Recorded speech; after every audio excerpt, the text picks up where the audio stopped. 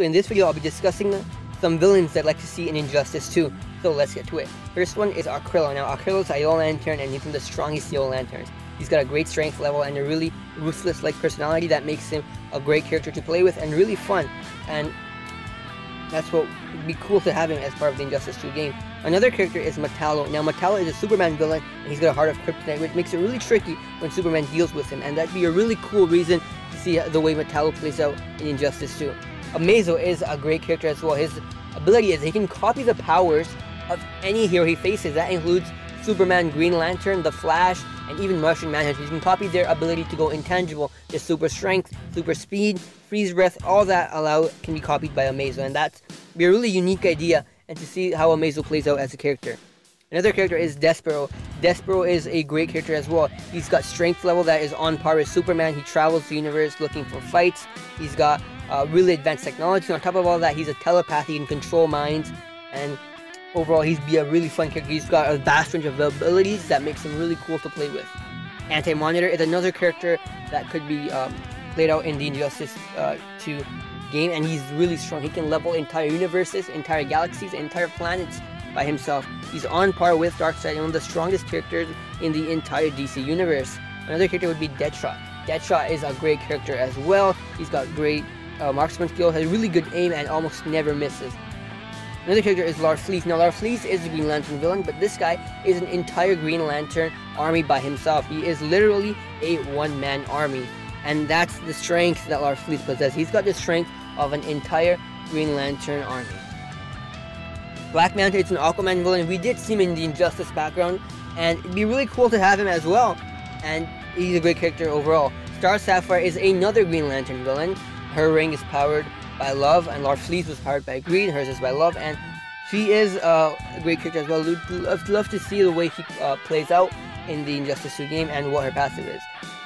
Cyborg Superman, a great character. He has strength level that's on par with Superman, and he's got technology. He's got rare, um, he's got the rare metal on him, and that makes him really durable, gives him super strength, and he'd be a really cool uh, and fun character to play with.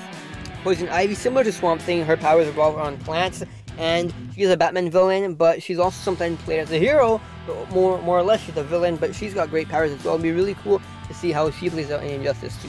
Talon is one of the less known uh, characters in the DC universe, but he's an amazing martial artist that is on par with Batman. He's got great martial arts skills, really good with knives, and he'd be a cool character to play as well. Cheetah is another villain. She's got uh, great speed, agility overall, really uh, strong uh, villain of Wonder Woman, and she'd be a cool character as well. Al Ghul, one of the best martial artists on alive, and he'd be uh, he, he got great knowledge as well, and be a fun character to play as well. Talia al Ghul is the daughter of Ra's al Ghul, and she's an amazing martial artist as well. She's on par with Batman. It'd be really cool to see how if she uh, appears in Injustice 2. Owlman, part of the uh, an amazing character as well. He's part of the alternate Earth. He's got the same skills as Batman and is really good just like Batman. Uh, Ultraman, he is the counterpart uh, of Superman, and he's, he's he gets power from Kryptonite, unlike being weakened to Kryptonite, and it'd be a cool character for him as well. Bizarro would be another character.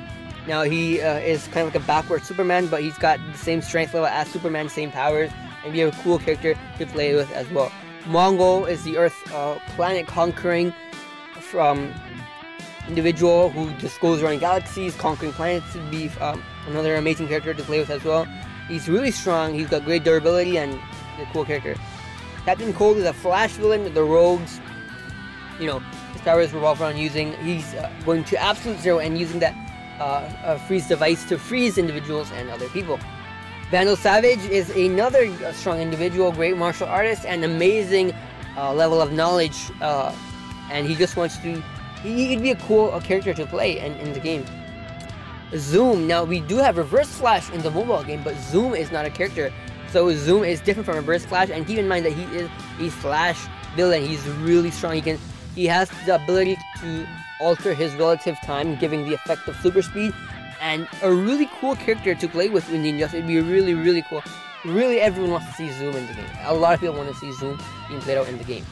Two-Face, a Batman villain. Be really cool to see him, as well as Penguin. He's another Batman villain. It'd be cool to see him as well. And Scarecrow from Arkham Knight, we saw how effective Scarecrow is and how he can really just a revolution. And he's another Batman villain. It'd be cool to see in Injustice. And that's the video, guys. Let me know what you think in the comments below. Thanks for watching, and make sure to subscribe.